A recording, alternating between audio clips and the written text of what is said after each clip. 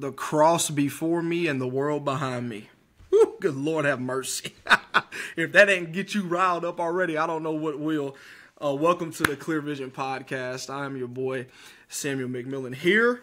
Um, thank you so much for tuning in uh, as we are diving into a brand new series, uh, a four week series we are calling The Secret Place. Um, and we're going to uh, start this podcast with a question, with this this series with a question: uh, Where where is your secret place? Um, this this topic, I feel like God has just burdened me with this topic. Um, this this this topic is very sincere to me. Um, I feel a, uh, a a deep passion and reverence for this topic um, as I have come across it uh, in my own life. I've seen it in my own life. I have witnessed this in my own life. How I don't revere, I don't respect, I don't treat holy the secret place. And I think God is calling His people back to a place where we are where we are being holy because He is holy. And I think a part of us living holy is uh, not neglecting the secret place. Good Lord, have mercy. Uh, that that that the the the secret place is where you go get answers the, the, the secret places where you go get your questions answered. You you don't you don't treat it like, like you don't treat God like he's a genie there. You ask him, God, what do you want of me? What are you requiring me to do? And in him giving you that answer, he answers all your questions. He reveals secrets to you. He grants you peace. He grants you freedom. Uh, he grants you things that you would never have gotten outside of the secret place. I believe the secret place is holy and we are to be holy for he is holy. And a part of, of, of stewarding or being um, uh, uh, holy as he is, is not neglecting the secret place. I, I, I have now uh, garnered and consumed a deep passion, uh, a deep reverence, a, a different type of um, swagger and confidence about the secret place. And so I want to I want to go into this again with the question, where is your secret place? God have mercy. Okay, let's pray. Let's pray. Woo! This go. This is gonna be an episode, man. Uh, God, thank you uh, for revealing in us how much uh, uh, we we need to depend on you. Uh, Lord, help us to uh, to remember that we are in desperate need of a Lord and a Savior. We can't do this without you. we cannot take another step. We can't go another minute without you. And Father, we pray that as we dive into this series about the secret place, that you would just reveal into you would reveal to us uh, how deep uh, your desire is for us to spend time there, Father. Um, that that that we need to we need to keep you first in our life. We need to honor you and and and we we need to go into your course with thanksgiving. And a part of that is realizing we need the secret place. And so lord help us to garner a deep reverence for the secret place. It's in your holy name. Somebody ought to say amen. Tell your neighbor to your left and to your right. If you're watching this with people or if you're by yourself just go ahead and tell yourself this is for me. Yeah yeah. And or if you're sitting next to somebody this is for you. Go ahead and tell them we're, we're shutting down every lie of the enemy that says you can't hear from Jesus. This, in fact, yeah, yeah, yeah. Yeah, this in fact is for you. We're in Matthew chapter 6. I don't know how long this podcast is going to be. I just pray that the Holy Spirit moves as He is going to. Um, and, and He's going to reveal to us secrets about the secret place. First of all, my first point before we even go into scripture, as you're getting your scripture ready, um, is that the secret place is something only you can build. nobody else can build this for you. Uh, nobody else can set this up for you. Uh, we can tell you about the secret place, but it's up to you to build your secret place. Every day as you go into the secret place, as you go into your prayer closet, you are you are throwing wood into a fire to be lit more as you continue to dive in to the secret place. The, the, the secret place is where you go to seek Jesus. You shut yourself off from the world and you go find Jesus in the secret place. You don't go to the world to find Jesus. You go to the secret place to find Jesus. Okay, all right, okay, okay, okay, okay, okay, okay, okay. So the secret place is something only you can build. You are the author of your secret place. so it, that means we are to take ownership of the secret place we're supposed to be building. okay, okay, okay, okay, okay, okay. All right, let's let's let's dive into this here. Okay, Jesus is teaching here in Matthew. I, I don't want to get too deep into this because I really want to get to the point here. He he's teaching um, uh, people um, about prayer, and and I believe that this is this is something for us in the in the what especially in Western Christianity. This is something we need uh, already because a, a, lot of us don't even pray, and if we do, it's a flyby prayer. it's something. Okay, God will just, just just help me with this, God. Help me with this, God. God deal with that. God do this. God. It's always God do, not God. What do you want? It's always God do, not God, what do you want? What are you requiring? What are you asking of me? It's always God, can you do? Will you do? Why why haven't you done this, that, or the third? Good God, have mercy. So we're getting here to Matthew chapter 6, starting in verse 5.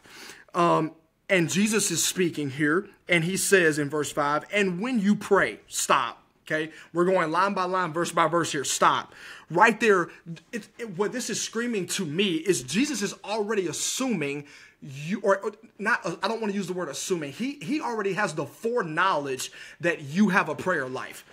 Notice how he doesn't say, and if you pray, or I hope you pray. No, no, no, and when you pray. okay, so point number two Jesus, Jesus Jesus is is has the foreknowledge that you already have a prayer life. So if you don't have a prayer life, th- those four words are already challenging you to get a prayer life. because your Lord and Savior is saying when you pray. It's not a question. He's not assuming. He he he is saying and when. It's almost like a commandment and when you pray. And when you pray, do not be like the hypocrites. Who are the hypocrites? He's talking to the religious leaders of the day.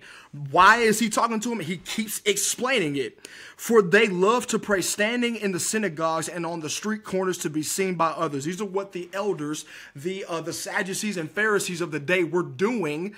Um, and so Jesus is pointing that out to the people he's talking to. He's saying, don't be like them.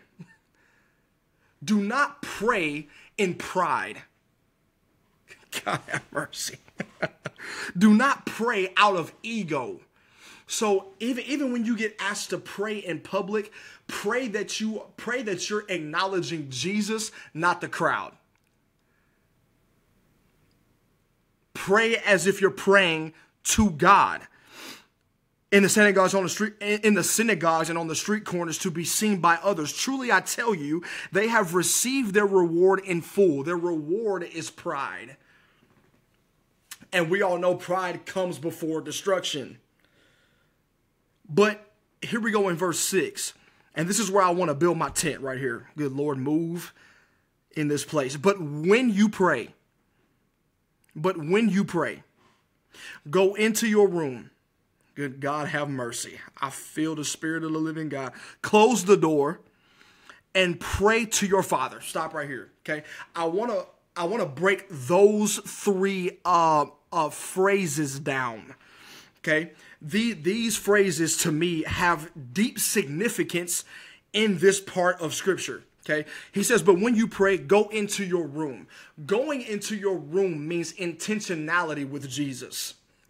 so if you're taking notes, which you should be, the first the first phrase go into your room equals intentionality. You are intentionally going into your room to be with Jesus. You're going into your secret place to spend time with Jesus. Go into your room intentionality.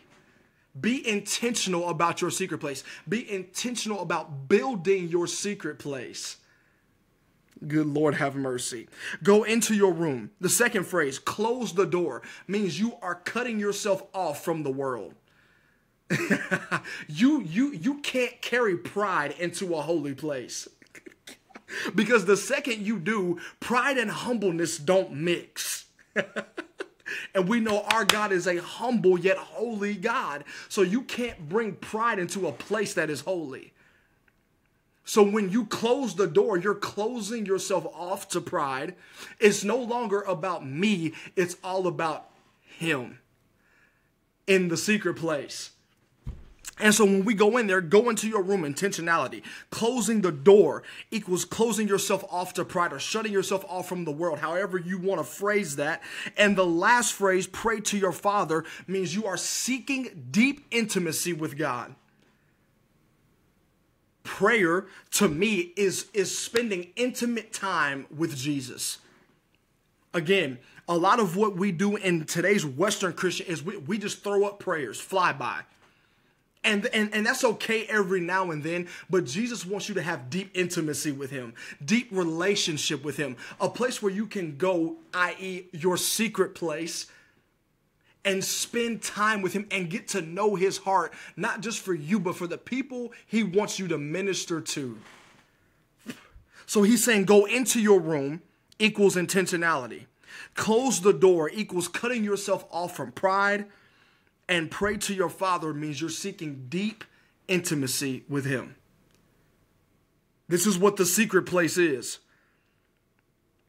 who is unseen. Then your Father, who sees what is done in secret, catch this. God, does, God, God just doesn't care about what's done in public. He cares what you do in secret because who you are in secret will eventually spill out in public. oh my goodness who you are in secret will eventually spill out in public. That's why God cares so much about the secret place because he wants to develop you. He wants to change your character. He wants to impact you in a deep way to where you can go minister to the nations, to people that need you or that need to see Jesus in you the most. and so he wants to change you, not just behavior modification. He wants to change your heart for him. And the changing of your heart is done in the secret place, which we neglect for notoriety. We neglect for fame. We neglect for fortune. We neglect the, we neglect the secret place for things that don't matter. And what really matters is the secret place because that's where we get the answers we need. That's where we get to hear the Father's heart for whatever He wants to speak to us in secret. we have all these prophets proclaiming out loud, but I bet you half of them aren't in the secret place. we have all these people screaming from the mountaintops, but I guarantee you 80% of them are not in the secret place. Everybody wants to be loud, but nobody wants to be quiet in the secret place we give God a prayer list instead of hearing God's heart. then your father, I'm almost done. Then your father, good God have mercy, who sees what is done in secret, will reward you. Here's what I think the reward means right here it means peace for your life. Last point the secret place gives peace to you there you find deep intimacy and you find peace in the secret place. I think the the the the, people that I've been around or the people that I see that I, that you can tell they have a deep prayer life regardless of what's going on around them they're at peace. Regardless of what's going on around them, they realize they serve a holy God. And since they serve a holy God, they too must live holy. And a part of that is having peace in their life. And I think that's what comes out of the secret place is peace in your life.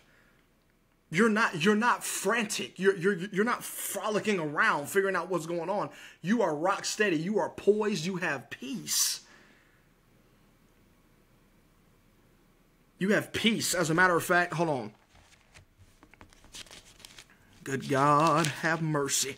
Philippians 4 verse 6 do not be anxious about anything but in every but in every but in every but in every sweet Jesus situation by prayer and petition with thanksgiving present your request to God verse 7 and the peace of God which transcends all understanding will guard your hearts and minds in Christ Jesus. He's saying, do not be anxious, do not be fearful, do not be scatterbrained about anything. But in every situation, peace, poise, rock steadiness. But in every situation, by prayer and petition with thanksgiving, present your requests to God. And the peace of God, which transcends your which which transcends, which goes beyond, which surpasses all understanding, will guard your hearts and minds in Christ Jesus. You find that in the secret place. You find that in your prayer closet. You find that you find that unshakable faith in your in, in your secret place. It's there. The thing is, it's got to be done in secret. I think okay, this is this may be a flawed picture. I don't know, but I'm just gonna say it. I feel like God has things that He wants to give us, right? I believe this. He has things He wants to give us, things that He wants to share, knowledge, understanding, wisdom but we're looking for it in external things, external places that aren't holy. And he's like, if you seek me in the secret place, I'll give you what you're seeking. but he's like, dude, you, dude, son, daughter, you don't have a prayer life. How can I reveal my secrets to you if you're not in the secret place? If you're not in prayer with me, if you're not in constant communication with me, how can I reveal things to you? God have mercy. He's saying, son, daughter, when are you going to get a secret place? It's up to you. You got to steward it. You have to take ownership of it. It's not, it's not just going to pop up out of thin air. The secret place has to be built by you. Because as you, okay, okay, okay, as you begin to build your secret place, you have a deep reverence for it. In other words, you'll want to go there more than external things. You'll want to go there more than your favorite prophet. You'll want to go there more than anything else. You will place value of the secret place over everything else. Because the secret place is where you find Jesus. I think people today have lost that. We've lost it. We have lost the idea of a secret place. And God's waiting. He's like, son or daughter, when you develop a secret place, your life won't be hectic anymore because now I'm giving you wisdom. I'm giving you knowledge. I'm giving you understanding. Go into your room, intentionality. Close the door. You're, you're cutting yourself off from pride or the world. And you're praying to your Father in heaven means you're seeking deep intimacy with Jesus. Where is your secret place?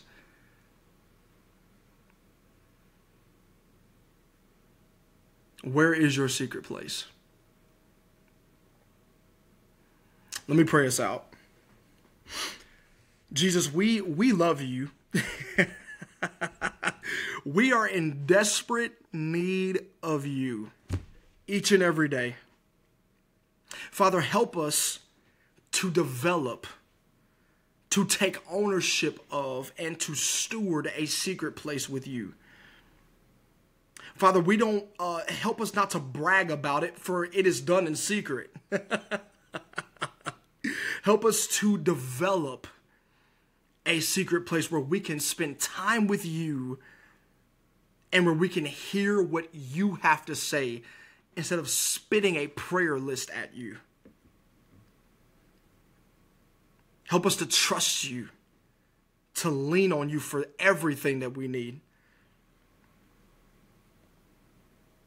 Help us answer the question where is our secret place?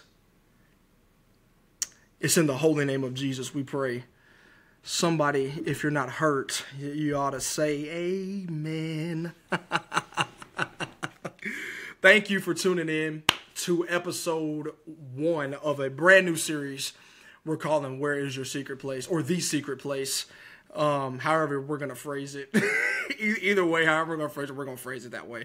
Uh, I love you. God loves you, and uh, we will see you next week for episode two of the series, week two of Where Is Your Secret Place. Thank you.